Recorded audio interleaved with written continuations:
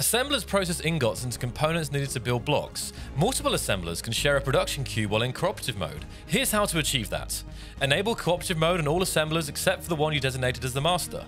Add components to the master production queue. This queue will be shared with all the secondary assemblers. When the master queue repeat mode is on, secondary assemblers will copy it entirely.